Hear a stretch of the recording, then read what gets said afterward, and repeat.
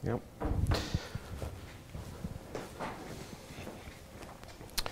Okej, så nu vet vi hur eh, vi kan skapa en puls som har lite mer bandbredd än en zink men fortfarande en Nyquist-puls. Men så kommer vi ihåg också då att det här stora eh, H här är ju då faltningen mellan en sändpuls och eh, impulsvaret för mottagarfiltret. Så det är ju eh, G och F vi är ute efter. Nu vet vi H som är faltningen mellan de två. Så hur delar vi upp eh, H i två delar? Så att, eh, hur delar vi upp eh, H i två delar så att när vi eh, faltar ihop dem så får vi en eh, race cosine puls. Och det är faktiskt inte så lurigt. Um, så att ofta så vill man ha samma puls vid sändare och mottagare. Det kommer visa sig ett smart sätt att göra det på. Så, um,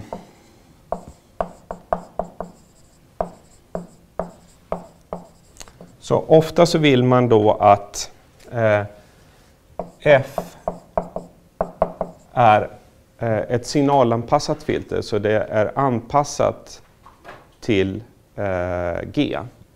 Så mottagarfiltret is, på engelska heter det som uh, matched till uh, G utav T.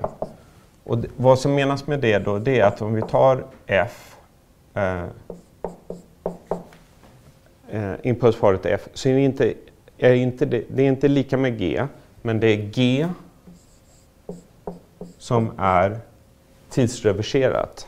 Så minus t betyder helt enkelt att vi tar g och så eh, speglar vi det i Origo.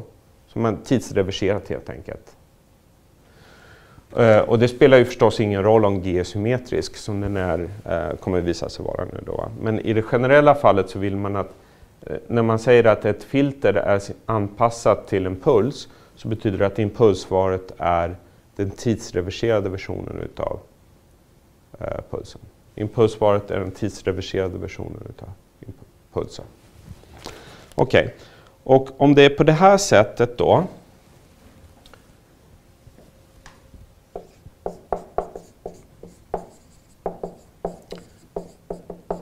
Då ser vi ju då att eh, H utav T, som är faltningen mellan G och F, blir helt enkelt faltningen mellan G och den tidsreverserade versionen av G. Och vad kan vi säga om eh, frekvensplanet då? Jo, stora H utav F är ju eh, produkten utav G, eh, Fouriertransformen utav G och Fouriertransformen utav G tidsreverserat.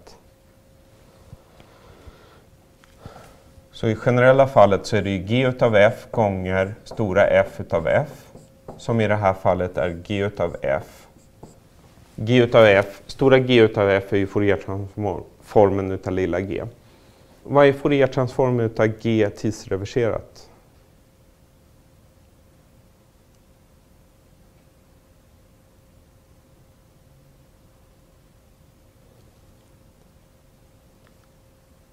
Ja, då, om man inte minns det så tittar man i beta eller också så eh, övertygar man sig om det med hjälp av eh, enkel Fourier-transform. Alltså skriver upp integralen, sätter in t till minus t och ser vad som händer.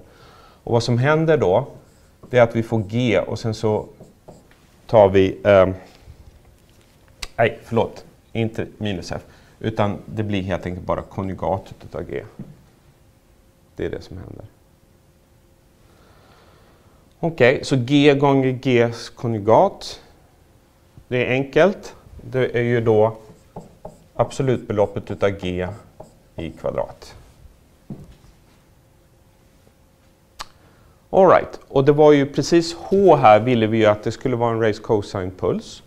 Så vi skriver det här, eh, vi får följande ekvation då, att g absolutbelopp i kvadrat ska vara lika med HRC utav f. Så.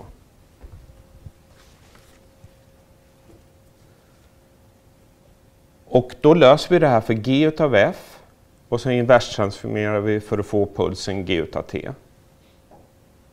Eh, och det finns många lösningar till den här. Vi har en kvadrat, eh, G utav F, absolut belopp i kvadrat lika med det här. Så att vilken fas man än har på G här, så det finns många faser för G. Som kommer. Det finns många lösningar till den här då.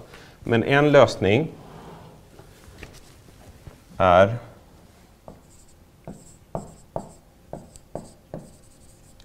är kanske den uppenbara då, det är att G utav F, att vi sätter den till roten utav H RC utav F. Ja, det är ju en lösning till exempel. Eh, och det ehm, eh, eh, den lösningen kallas för en root race cosine puls. Och det är alltså en tidspuls vars Fouriertransform är roten utav ett race cosine spektrum. Okay.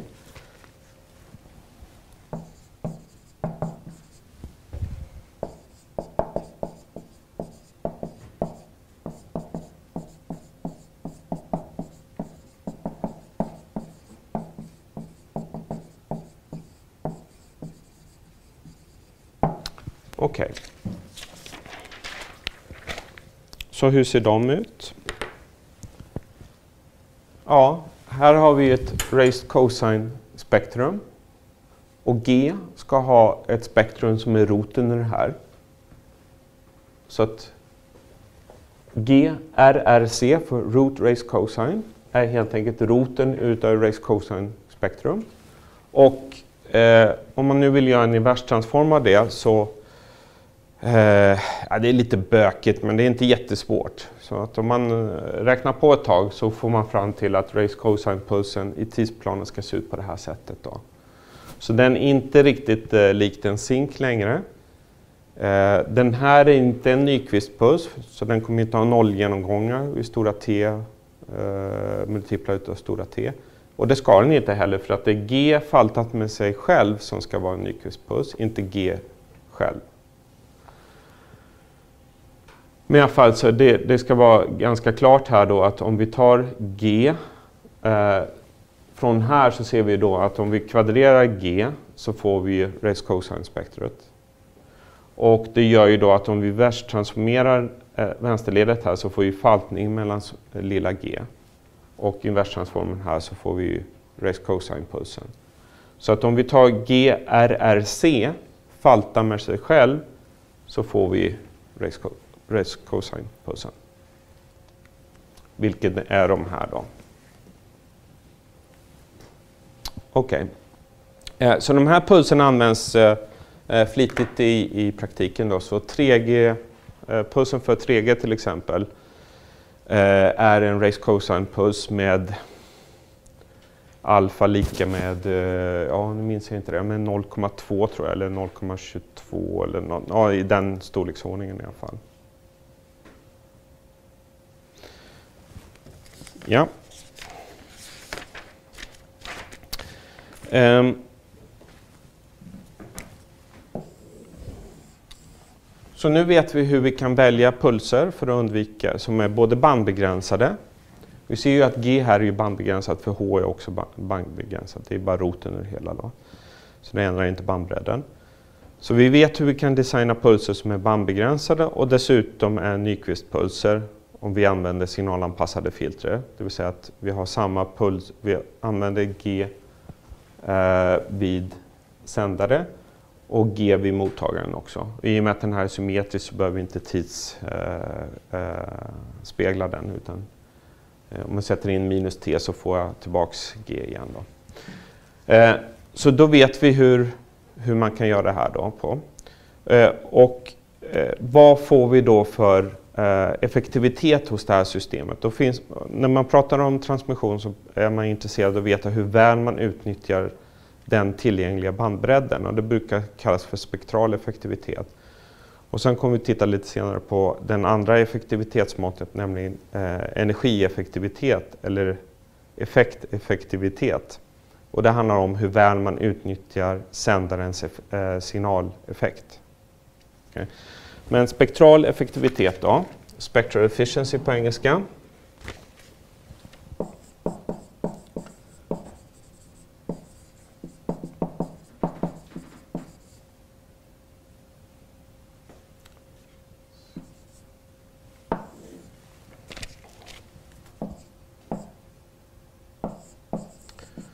Och definitionen på den här då, först får vi välja en variabel och kalla, kan vi ta en ny till exempel. Så det här är effektiviteten och det är då eh, datatakt, det vill säga bitrate, delat med bandbredd.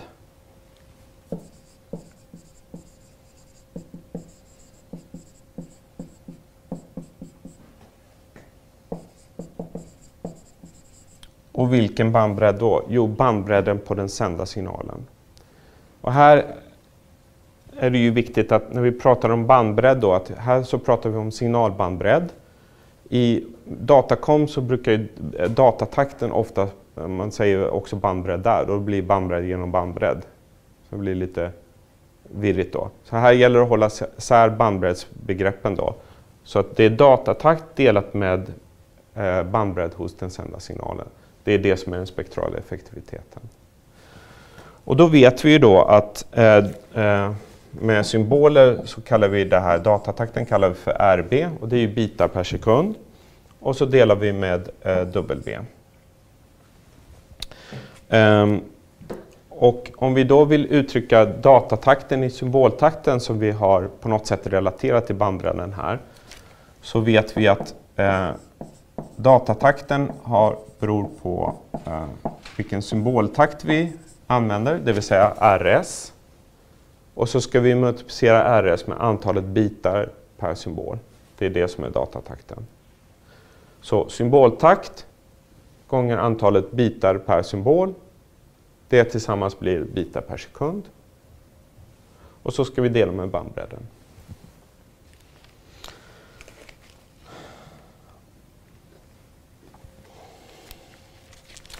Eh, Okej, okay. och det här är en generell definition då.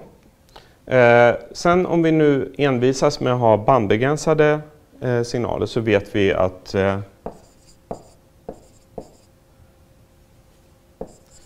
att för ISI-fri transmission så måste RS vara mindre än dubbla bandbredden. Eller mindre, lika med dubbla bandbredden eh, för ISI-fri transmission.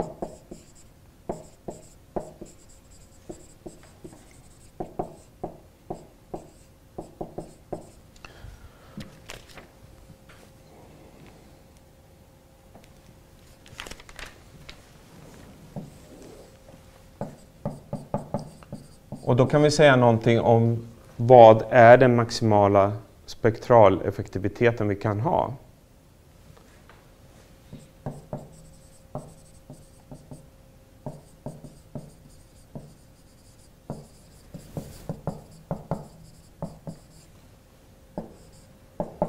Om vi envisas med ISI-fri transmission, ja, men då sätter vi in den största symboltakten vi kan ha och den är ju lika med 2W.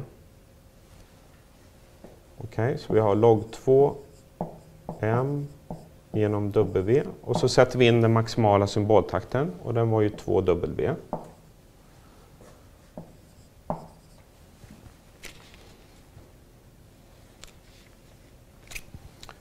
Så då får vi helt enkelt 2W gånger log 2. Eh, 2 gånger log 2 m.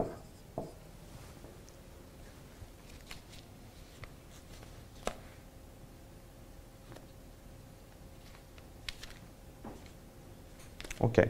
så om vi vill utnyttja en bandbredd W så, så eh, eller vad är den högsta spektraleffektiviteten vi kan få på en kanal när vi har bandbredd W och vi vill ha intersymbol, eh, uh, intersymbolinterferensfri transmission, ja då är det 2 gånger log 2m, alltså 2 gånger antalet bitar per symbol. Så den spektrala effektiviteten kan vi öka genom att öka m. Och vad är då problemet med att ha väldigt hög spektral effektivitet? Ja, det är inte jätteklart i, i, i läget som vi är just nu, men vi kommer visa lite senare då att om vi ökar M här så ökar vi också kravet på sänd effekt.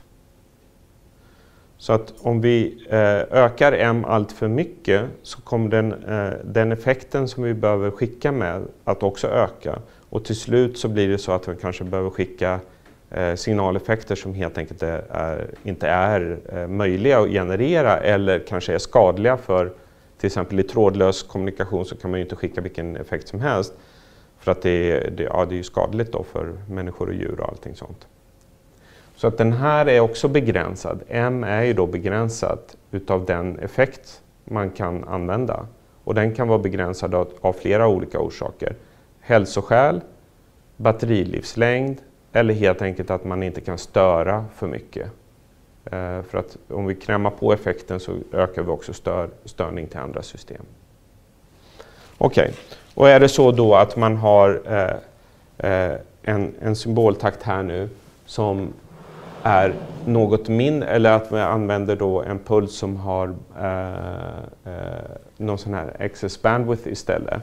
Då är ju symboltakten något mindre än den maximala vi kan eh, ha då. Så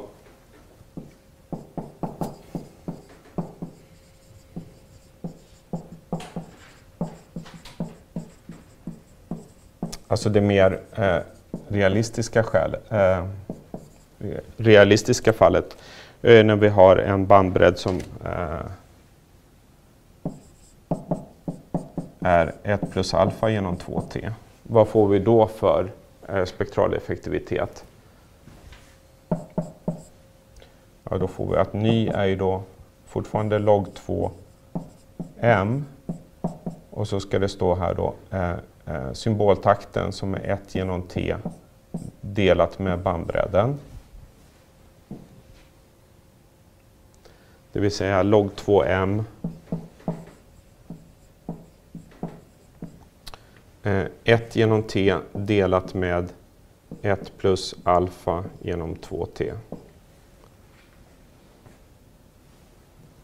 Och det här blir lika med log eh, 2m. 2 gånger log 2m, det som vi hade förut, delat med 1 plus alfa.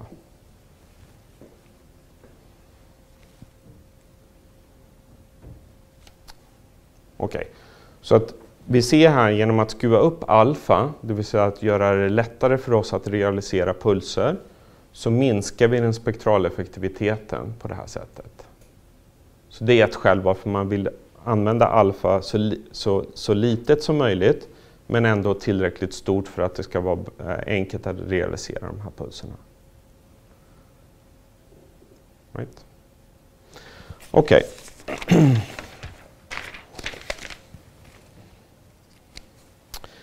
ehm, I praktiken um,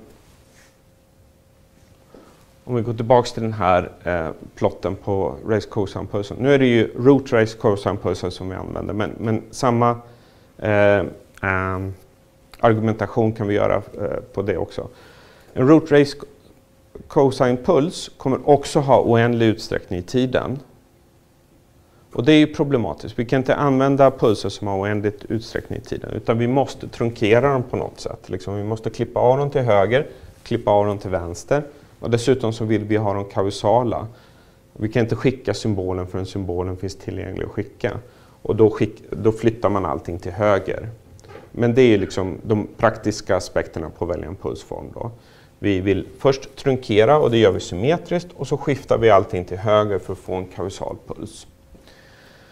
Så fort vi trunkerar pulsen så kommer vi få intersymbolinterferens. Den kan vara liten om vi trunkerar väldigt brett. Men om vi börjar knapra på det här så kommer vi så småningom få intersymbolinterferens. Så i, i alla praktiska system så har vi inte symbolinterferens till en viss grad. Men så länge den är liten så kan vi leva med det. Det är när den blir stor som det är problem. Och hur ska man då kunna eh, eh uppskatta eller liksom på något sätt eh, kvantifiera hur mycket symbolinterferens man har för att veta är det här ett problem eller inte? Eh, och då kan man antingen göra det matematiskt eller också kan man göra det grafiskt. Och förr i tiden eh, när man eh, gjorde det här i labbet, då hade man ett oscilloskop och så tittar man på utsignalen från det signalanpassade filtret. Man tittade, eh, ska vi se om vi har en bra här. Man tittade på den här signalen yta t. Den hade man liksom i en kabel eller på något sätt. Liksom, I labbet så har man en kabel kopplar man in den här kabeln i ett oscilloskop och så triggar man det här oscilloskopet varje stora t-sekunder.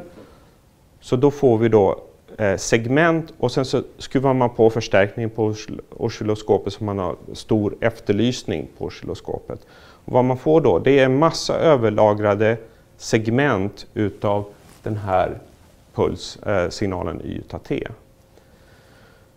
Okay. Och den, det, det man får då kallas för ett ögondiagram för att det kommer att se ut som ett ja, stiliserat öga. Vi kommer visa det alldeles strax. Då.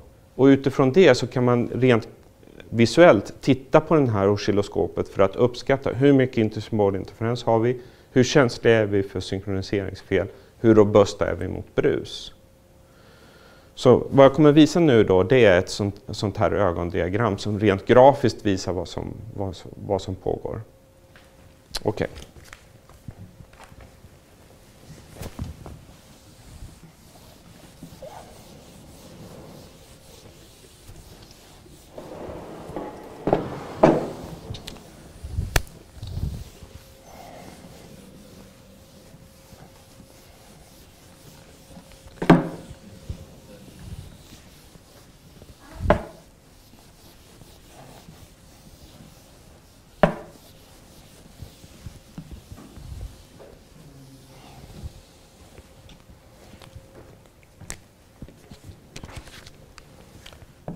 Och så på engelska så kallas det här för eye diagrams.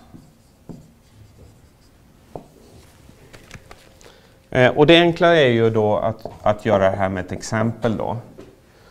Eh, och tänker oss då att vi har en puls. Och så tar vi vår enklaste puls vi kan tänka oss då. Någonting som har eh, amplitud 1. Eh, eller ja, någon amplitud spelar inte så stor roll, men den är i alla fall en fyrkantspuls som har utsträckning stora T. Stora T är också symboltakten här, eller tiden mellan två pulser. Eh, så det här är G utav T. Och för att få H utav T så måste vi eh, eh falta G med mottagarfiltret och så säger vi att vi har ett eh, signalanpassat filter. Okej. Okay.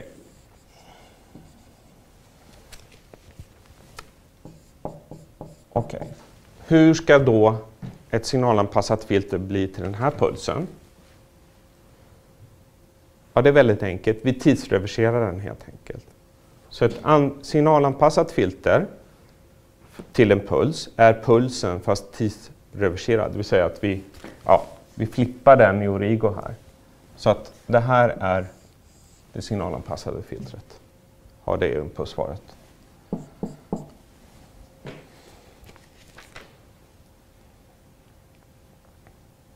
Okej. Okay. Och så faltar, faltar vi ihop det här då. Vad får vi då? Jo, vi får pulsen H. Hur kommer den se ut?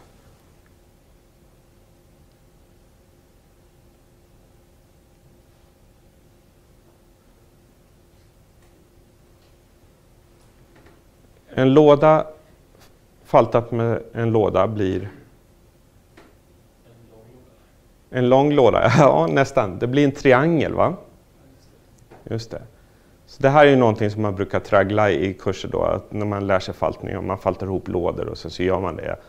Och, och det, man gör fel tusen gånger men till slut så får man det till att bli rätt. Och då får man en puls som är en triangelpuls.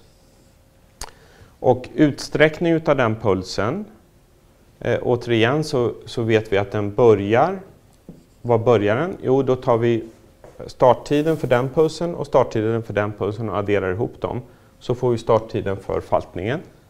Så den går från minus t tills den slutar. Och var slutar den någonstans? Jo, den slutar med där vi tar sluttiden här och sluttiden där, adderar ihop dem så får vi sluttiden här. Och det blir t. Så här får vi den. Är det här en Nyquistpuls?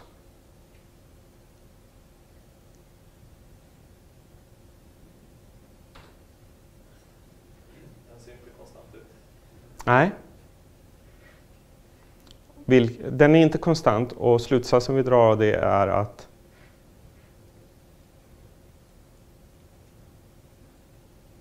att den inte är en Nyquistpuls. Fel, det här är en Nyquistpuls. För nu är vi i tidsplanet. va? Så Nyquistkriteriet i tidsplanet är att vi har ett nollskilt sampel i nollan och sen att vi har nollor för alla andra multiplar av stora T.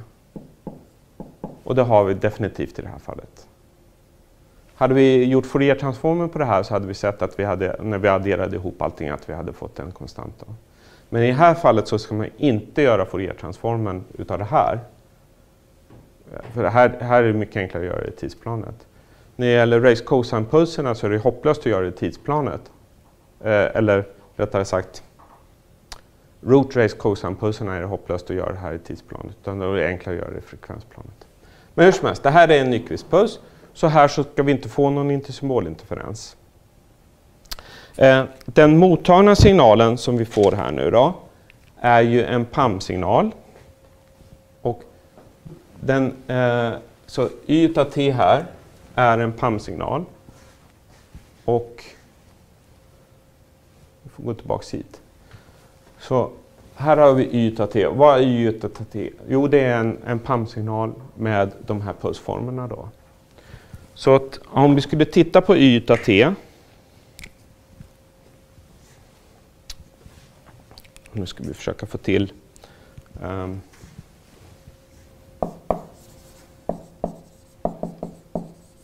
Så utsignalen från det uh, matched filter MF, signalanpassade filtret, y är en summa från k lika med minus oändligheten till oändligheten utav våra pulser, eller äh, våra amplituder. Och så multiplicerar vi ihop det med skiftade versioner utav vår grundpuls som är h.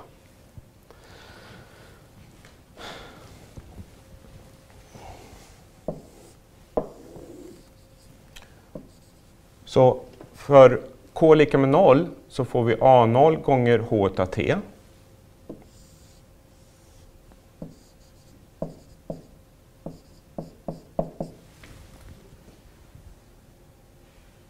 Den är med på va? För k är lika med 1 så får vi A1 gånger H T skiftar till höger med T sekunder.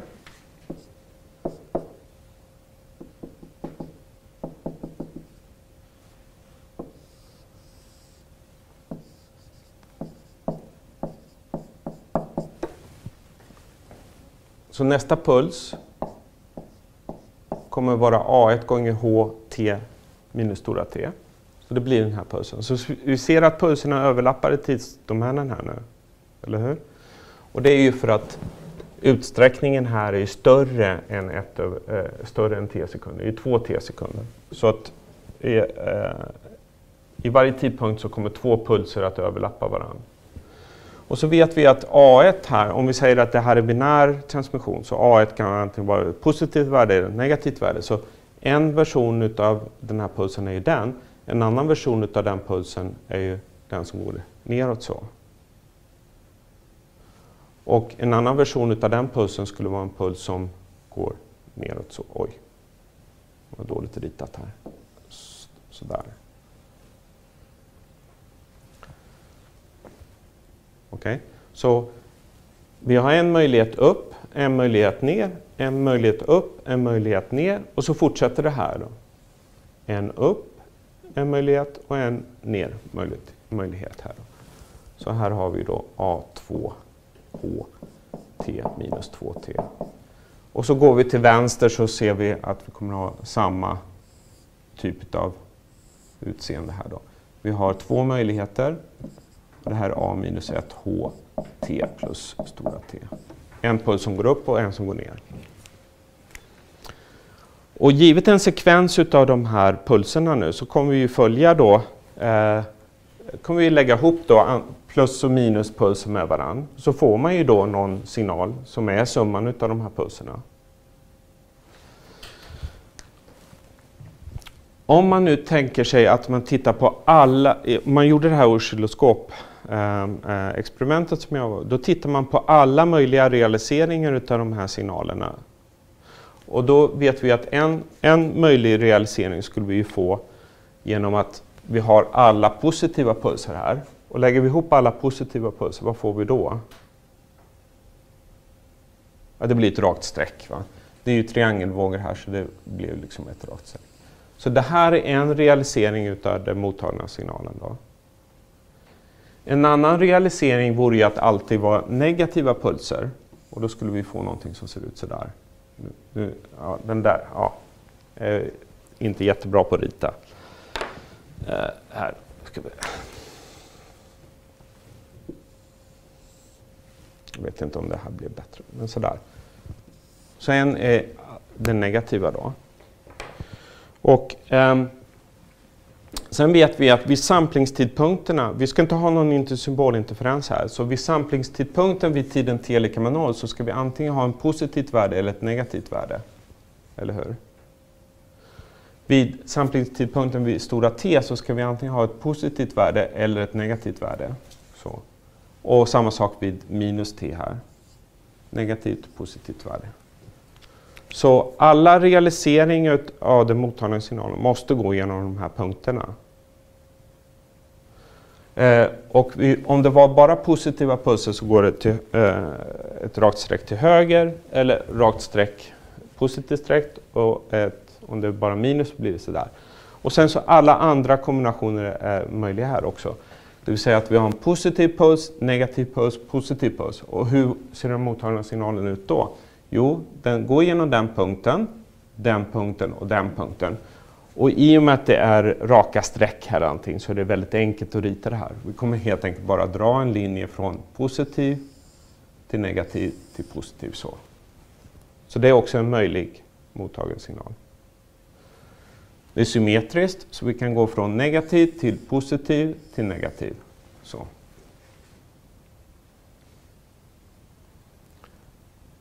Och sen kan man gå från negativ, positiv, positiv, positiv, positiv, negativ, allting sånt där. Så att, men nu har vi faktiskt ritat upp alla streck som kan finnas i det här.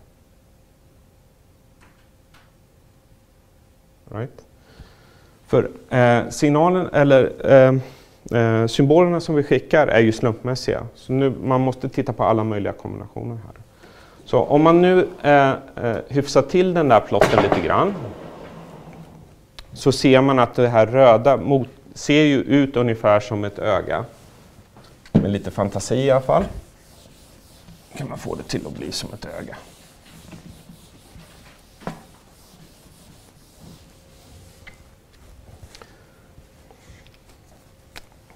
Um, så vad vi hade här är de här positiva och negativa amplituderna här. Och så ritar vi upp alla möjliga streck här.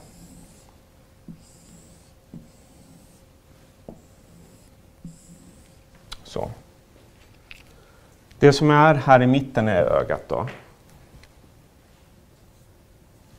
Och då, det här eh, har en, ja, en horisontell öppning och en vertikal öppning.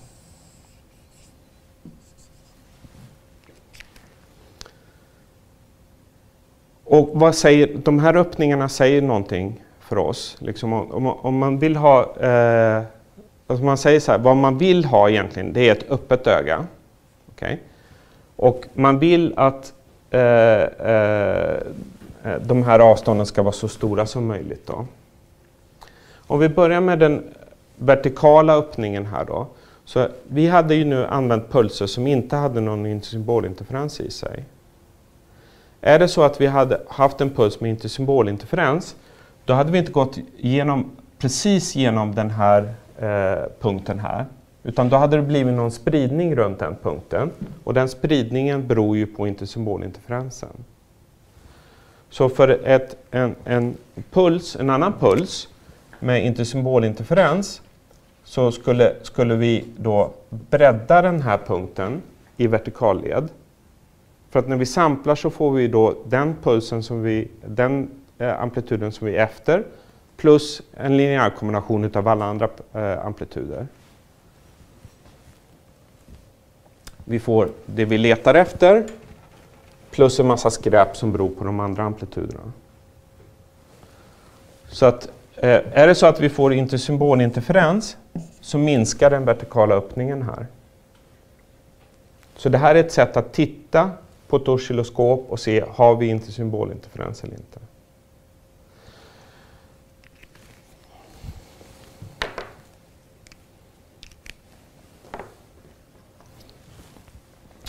Eh, och förutom intersymbolinterferensen här så kommer vi i verkligheten också ha brus, vilket gör att man kan flytta den här punkten från att vara till exempel negativ till positiv och då gör vi ett felbeslut.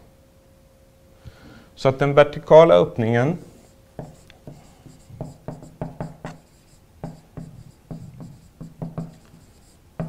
är ett mått på hur mycket intersymbolinterferens vi har och hur robust vi är mot brus.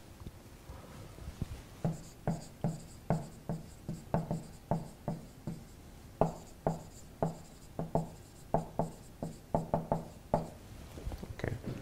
Och är det så att vi har så mycket symbolinterferens att ögat sluts här, då har vi ingen robusthet kvar mot, mot brus och då kommer vi få jättemycket fel och det är inte bra. Är det så att vi har en stor öppning här, då kan vi tåla rätt mycket brus kring de här punkterna och fortfarande göra rätt beslut. Okej, okay. den horisontella öppningen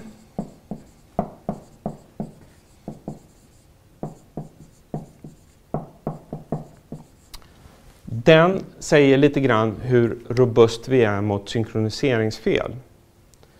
För när vi samplar den mottagna signalen här här, så vill det till att vi samplar synkront med när pulserna skickas. Så i en verklig mottagare så har man en synkroniseringskrets här för att lista ut när pulserna dyker upp vid mottagaren. Och med alla sådana system så är det ett visst synkroniseringsfel då. Och vad det betyder, det är att istället för att sampla vid den ideala tidpunkten här, alltså vid den här tidpunkten, är att vi samplar lite till höger och vänster om den. Och det samplet vi får ut då eh, kommer ju att ligga, eh, ja, ligga snett helt enkelt. Och är det så att den horisontala öppningen är, är stängd, då kan vi hamna på fel sida bara på grund av ett synkroniseringsfel. Hängde ni med där? Alltså om jag sluter ögat här, det vill säga att den här eh, vad ska man säga, lutningen här blir allt skarpare och skarpare. För samma synkroniseringsfel så kan jag, eh, för ett har jag ett litet synkfel då, så kan jag eh, istället för att sampla precis på den punkten så kan jag hamna på andra sidan och därigenom göra ett felbeslut. Okay. Så det här är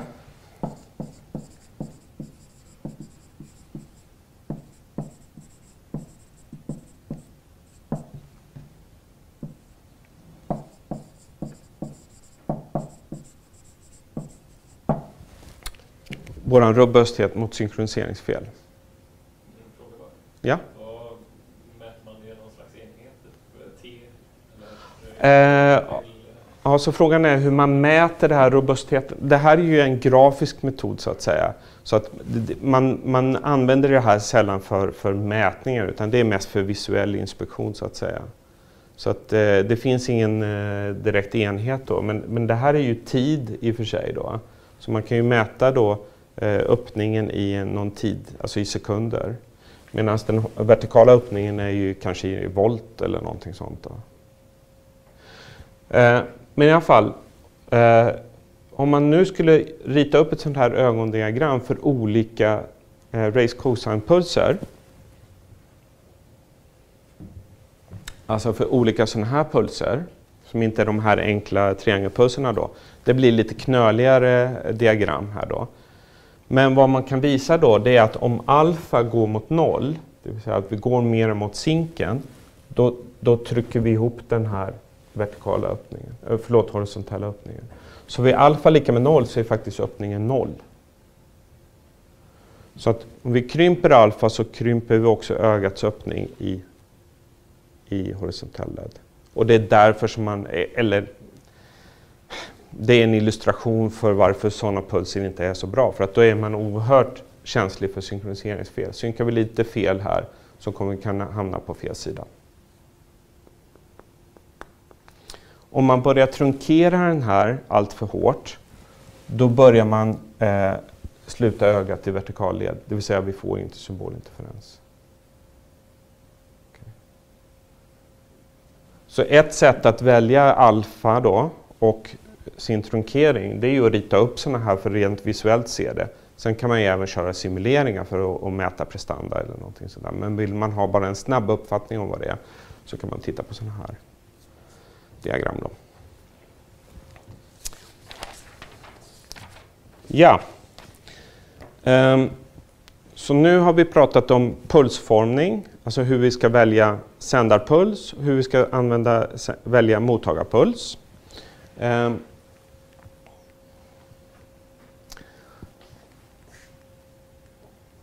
Alltså vilken puls ska vi använda här och vilken puls ska vi använda den här för att uppfylla vissa olika krav. Då.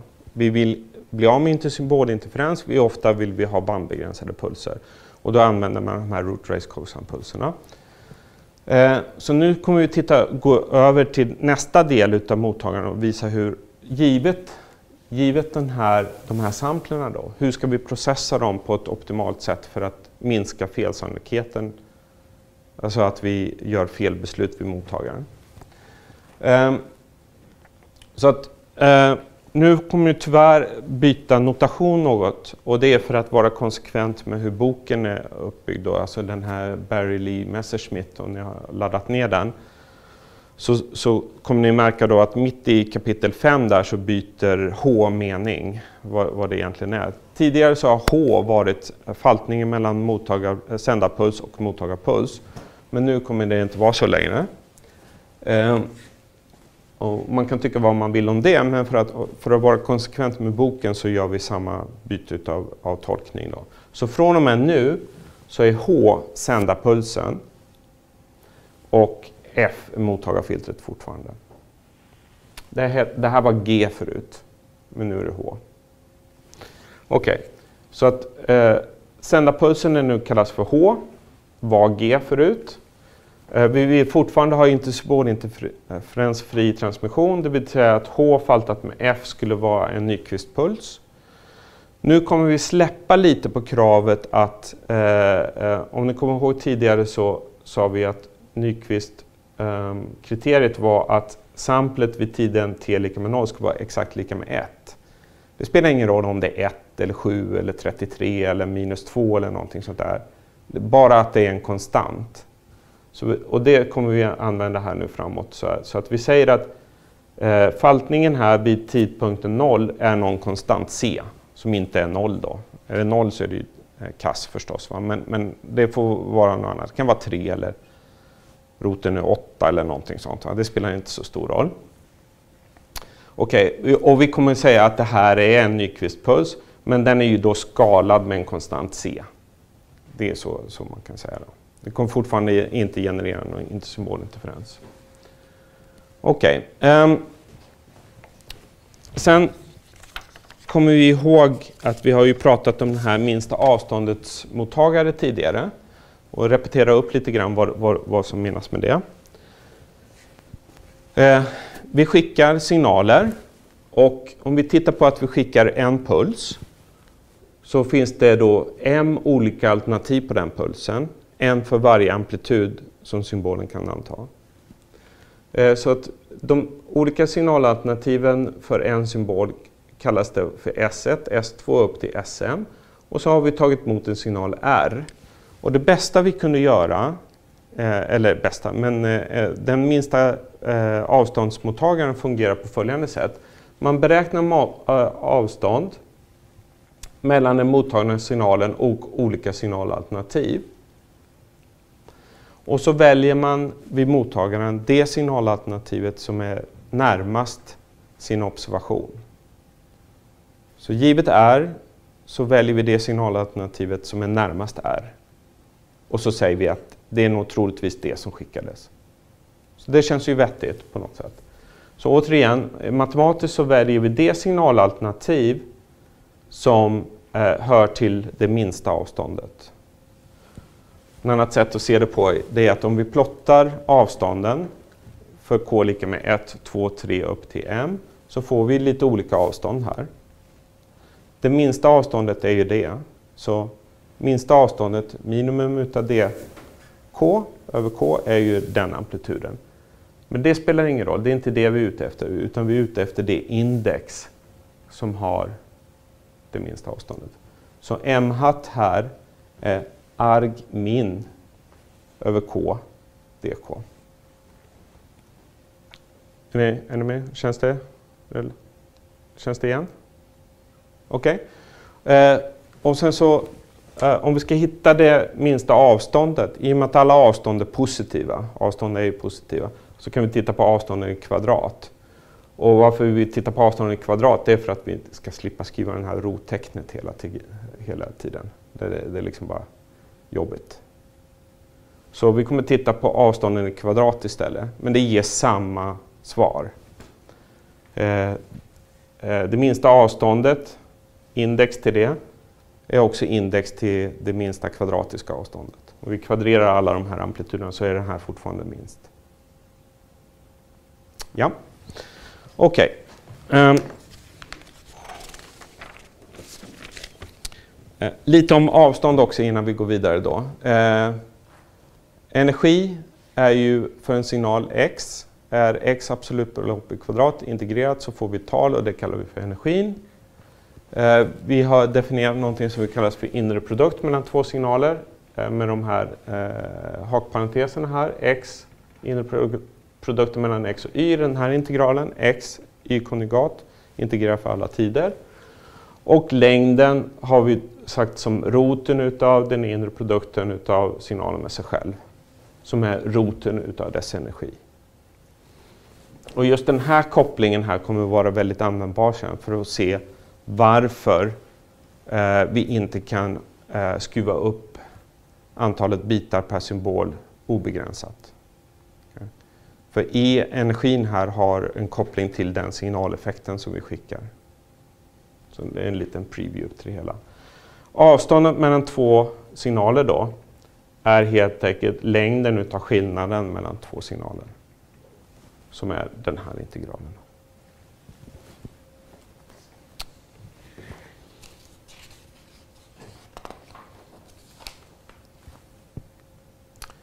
Um.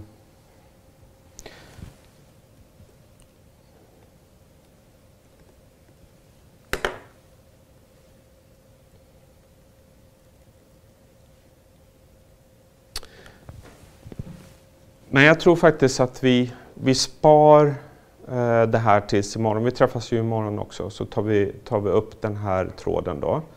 Eh, och för att ge en liten eh, förhandstitt på vad vi ska göra nu då, det är att eh, eh försöka applicera den här minsta avståndsmottagaren på den mottagarstrukturen som vi har studerat tidigare och se hur vi kan processa eh,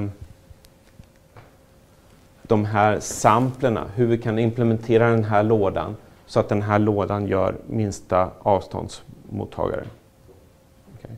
Vilket kanske inte är fullständigt uppenbart att, det, att, att det går att göra just nu. Då. Men vi kommer bevisa det imorgon, att eh, den här mottagarstrukturen som börjar med ett filter och en samplare inte kommer begränsa oss i den meningen att vi inte kan ha en, Eh, en minsta avståndsmottagare från den här interfacet till det interfacet. Då. Okay. Ett annat sätt att säga det på det är att mottagarfilter plus sampling här, vi förlorar ingen information i det, den, eh, det steget. Okej, okay? men vi tar det imorgon.